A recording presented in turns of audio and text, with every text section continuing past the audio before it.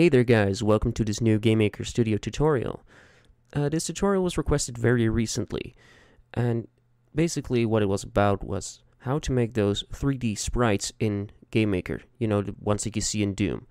So what I mean by that is, for example, I have loaded in the imp sprite, basically when he's going to the left, when he's going to the top left, when he's going to the top, etc, etc. Basically how to do that. I'm going to show you what it looks like right now. So let's just load up our game and see what I actually mean.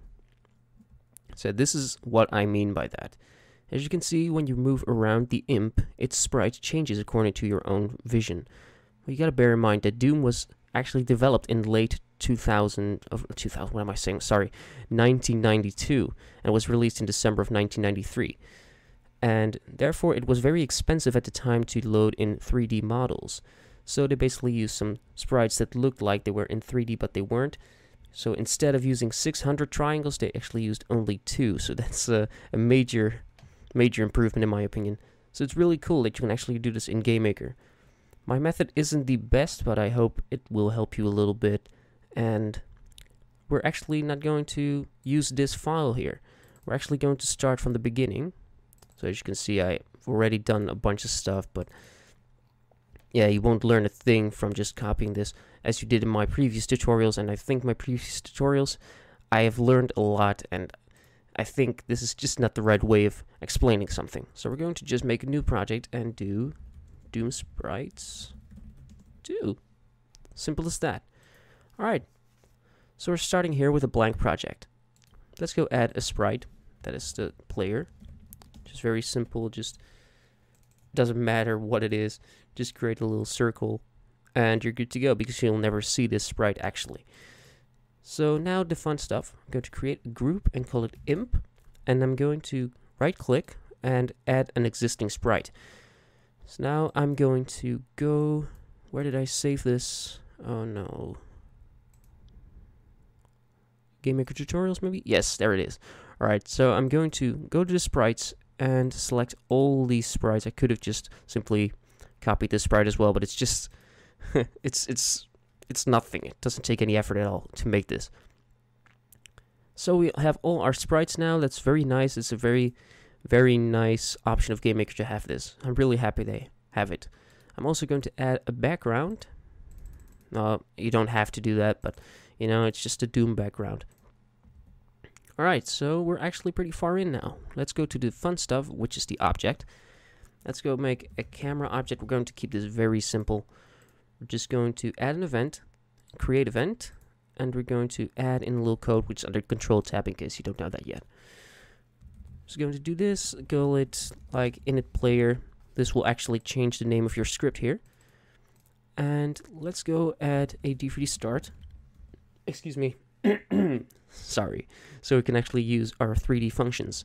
Let's go d3d set hidden, which basically hides all the meshes behind other meshes which are in front of the player's view.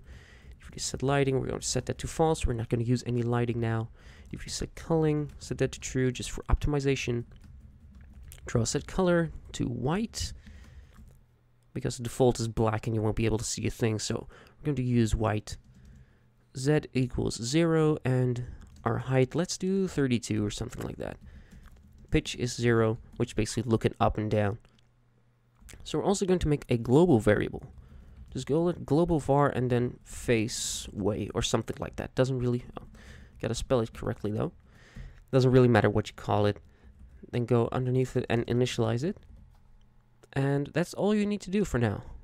Let's go to the step event. And we're going to make sure that you can look around. So how do we do that? So we're going to do direction minus, which basically the same as this, but you you can just do whatever you want. I'm going to use this because it's a very long string of code. So display get width divided by 2, which is the center of the screen, minus the display mouse get x value then divided by 10 or something like that, which is this 10 over here. We can call it sensitivity. Is that how you spell it? Sensitive? Yes, that's how you spell it. Good. Gonna make a quick variable called sensitivity. I can barely see it. There we go. So basically, let's comment that out a little bit. Sensitivity 10 equals normal, 20 equals low, and like 5 is high. That's basically how it works. Okay, so now that we have done that, we're going to do the same thing for the pitch. Minus display get height instead of width, divided by 2, display mouse get y, divided by the sensitivity. Then, the last thing, display mouse set, display get width divided by 2, display get height divided by 2. There we go. And also one more thing, which isn't necessary, but it just it's it's better. It's just so much better to have this in your game. Just clamp the pitch to about 89, not to 90 because you will look upside down for some reason. But um, yeah, this uh, seems to work okay. Well, now your your cursor is actually locked in place in the middle of your screen. So we're going to do this. If keyboard check, keyboard escape, we're going to end the game. So if you press escape, you're going to end the game. By the way, don't use this in your final product unless it's just a little, little time waster game, but just don't do it. It's not very professional. Now, the next thing we're going to do is we're going to add a draw event. Um, let's do, let's just call it projection. By the way, if you're just, if you're absolutely not interested in this, you can just skip to the timestamp, which is right here, and there will actually, then I'll actually, actually explain how to do these sprites. So xcos degtorad direction, y sinus y sinus degtorad direction, z tangent tangent degtorad pitch. You don't really need to know what this actually does. I don't know what it is, what it does exactly, to be honest, but I know it works, and that's what really matters, to be honest. So let's add a projection code as well and we're going to do an extended one. X y z. Sinus tangent 1 this is the FOV right here so we're just going to call it FOV field of view. And I'm going to set it to about 60 which is closer to the original Doom. I guess in the original Doom it was even lower than this but I'm not really sure about that. I'm just going to do an aspect ratio of 4 by 3 1 and let's do 2000 or something like that. Alright, so now the, the player is entirely done. Just for one thing, I completely forgot about that. This global variable, faceway, we're going to go to the step event and we're going to add faceway equals direction. This will come in handy later. Alright, so that's basically what you got to do with the player. Now we're going to add fun stuff, which is the imp. Ugh, I haven't played the original Doom in so long, but I remember the imps being one of the most annoying things.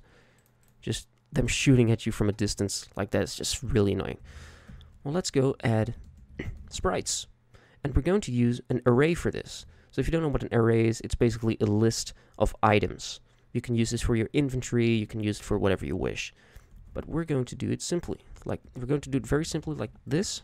Sprite equals, let's see, what do we call it? I'm gonna get the uh, little reference here because I can. To be honest, I kind of forgot what to do. I actually prepared this tutorial very well in the beginning, but I completely forgot. All right, you stop. Start with the top one, then go to the top right one. Okay. So sprite one is sprite imp top. What did I call it? Oh, sorry, like that. All right, then you just gotta go to the right, like this. Just copy it, and maybe I said this in the beginning, but I don't remember if I did. But these Doom sprites actually contain eight directions, but we're going to have an array with nine elements in it. And I'll tell you why that is. That's because, um, basically because it will return an error when it gets above this value, and it will get above this value, because we're going to round this array later in the step event, if that makes any sense, but you'll you'll notice that soon enough. But that's uh, that's going to give you an error. And if you don't know how to fix that error, it's basically this. Just add another one to your array. Down left, left, uh, top left, and then the last one will be top again, just like the first one. All right. But why use arrays? Well, it's very simple. Arrays are very flexible. So if you want, for example, you want 16 directions instead of 8. You can just add those in, in between and it will just loop through them, which is very nice. But also, we're going to use arrays because you can actually add animations to it. Well, this isn't the official animation. I quickly made this. Oh, that's way too fast. But this is what you'll see. This is the only one that's animating, to be honest, because I'm not an animator. I'm not even a model artist or anything. So yeah, that's basically what that is. Let's do direction equals random 360 degrees. This so that the imp is facing a random direction, which is pretty self-explanatory, but I'd just like to comment that anyway. Okay, so now we're going to add in the sprite of the imp. Oh, that's the wrong one. I've, I actually thought, how? Why do I already have a draw event? But it's right over here. Draw event, just gonna call it draw event. Not really a good name for a draw event inside a draw event, but you know, whatever. Draw set alpha test. Why are we doing this? Well, the sprite is transparent over here. And it will give you some kind of alpha issue that you had in GameMaker's previous versions as well. So with this function, you can actually cut that out. So we're going to go to the camera real quick and add this little thing, but we're going to extend it and call it reference value. We're going to set that to about 200, which is basically the threshold of the alpha pixels that will be drawn. So if you set this, for example, for to a very low value, it will still draw most of the transparent pixels. But when you set it to 200, it will barely draw any of these. I mean, 5 would be fine for this sprite in particular, but we're actually going to untick, unbox this interplay color between pixels. So now it really doesn't matter what you put it at, what you set it as, you can basically set it at 1, it will be fine. We're just going to keep it at 200. Um, let's go back to the imp.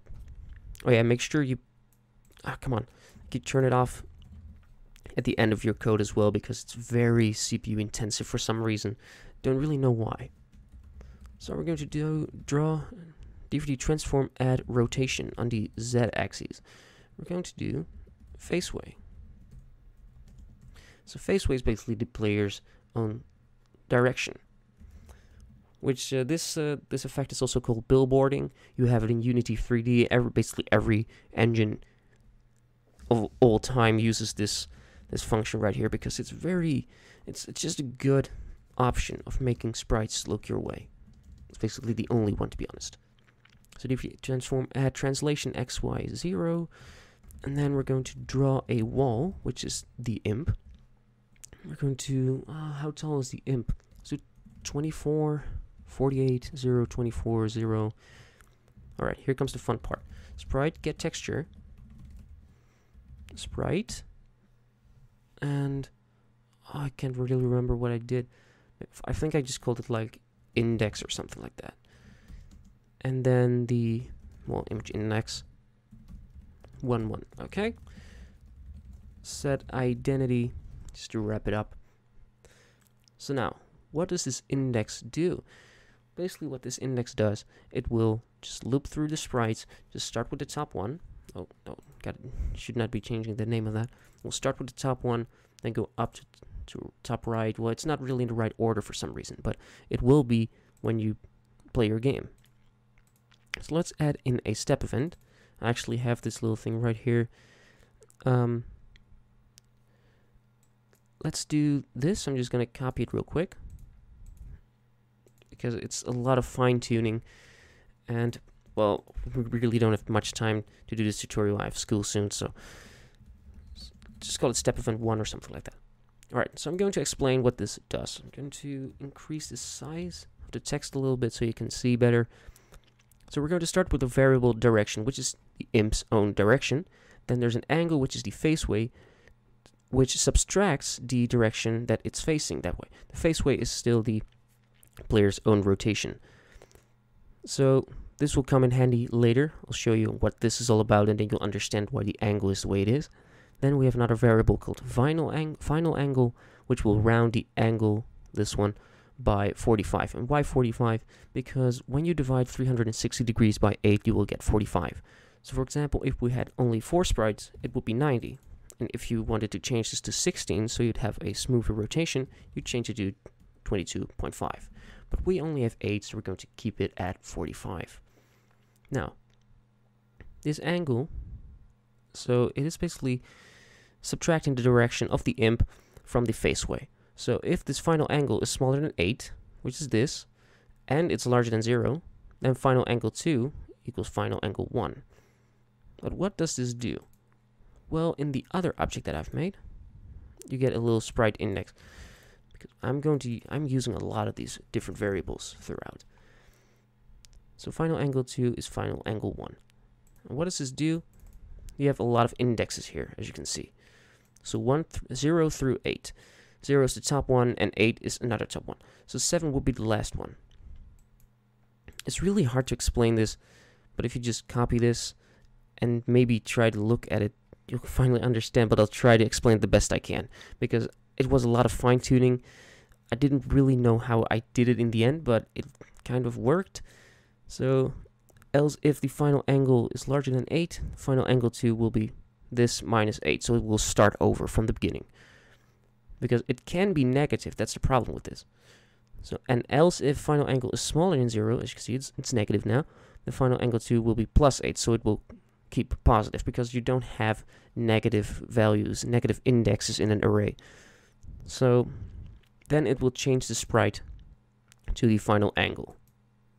We're also going to do here, as I'm going to resize this real quick, I'm going to add vertex begin. Oh no, no, never mind. What am I doing? Primitive begin. Sorry, kind of lost track of myself. PR line list. I rarely use vertices, so it's really strange vertexes. I don't know there's a difference between that. To be honest, sorry. X Y zero. Let's do one. And then the final one will be the vertex. X, len Y, 1. You don't have to do this, by the way. It's just for debugging. Length direction let's do 64 direction. And to do the same for a Y length there. Whatever it's called. And then end on d3d primitive end. Alright, so that's basically it. That's basically all you gotta do. So you're going to add in this room. It's gonna room arena or something like that, something stupid. And let's do a. No, that's a little small. So that. And let's make a black background color. And add our new imp. Also, we're going to give some quick controls. You can skip to this little timestamp that's right here to see what the game looks like. So, or, come on, why? Ah, it keeps, ah, that's weird, it just keeps changing to the English variant for some reason. Yeah, I want the Dutch one, thank you. W, X, length, direction, X. Let's do 2. And do the same thing here. Oh, come on. Okay, that's good. Let's do the same thing for A and D. Maybe for S as well. So we can get a nice west. Let's do plus 90. Minus 90. And finally, oh, sorry, this is 180. This one is minus 90. Okay. Let's let's just go see what it looks like.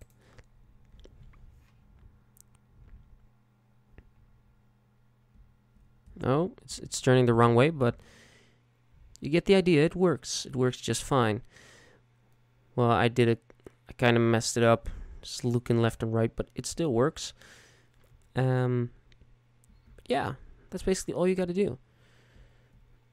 I hope I explained it well enough for you to understand. It's it's just a topic that I I only recently did, to be honest.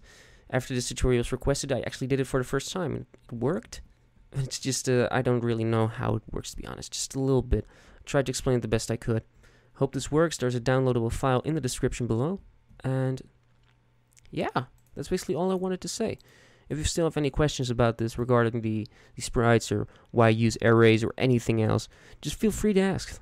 I'll be happy to answer all your questions. So thank you very much for watching, and I'll see you in the next video.